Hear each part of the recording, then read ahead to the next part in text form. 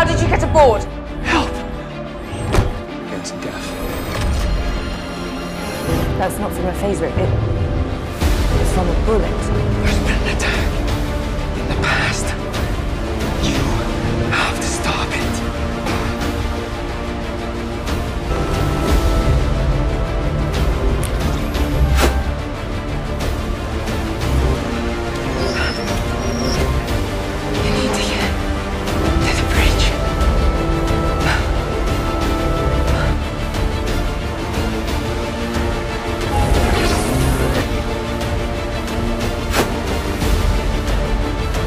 Captain, I need to talk to you.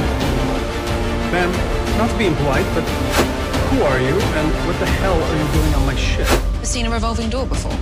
I'm from space.